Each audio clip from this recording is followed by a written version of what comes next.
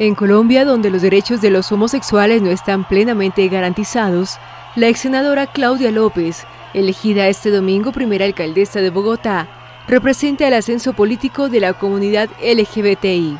Con su triunfo además rompe una barrera en América Latina, región que nunca había tenido en ninguna de sus capitales a algún miembro de esta comunidad como máxima autoridad. En su discurso de victoria, la alcaldesa electa valoró que tendrá un gobierno diverso, que buscará en los próximos cuatro años cambiar a la ciudad por medio de la cultura ciudadana.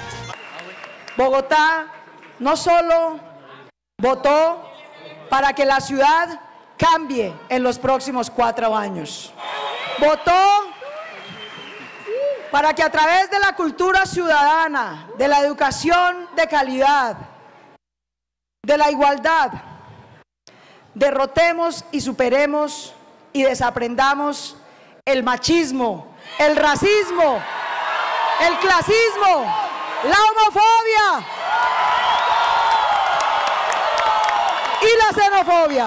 La excongresista estuvo acompañada por más de una veintena de políticos que la apoyaron, entre ellos la senadora Angélica Lozano, su pareja desde hace muchos años y con quien se besó al entrar en medio de los aplausos de los asistentes. Que no quepa duda, hoy en Bogotá ganó el cambio.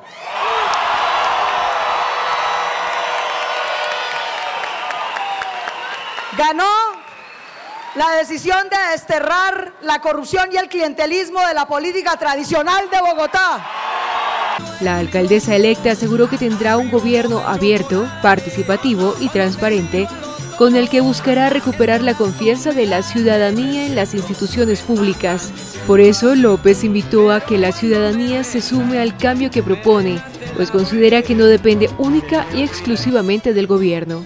Bogotá votó porque el cambio y la igualdad son imparables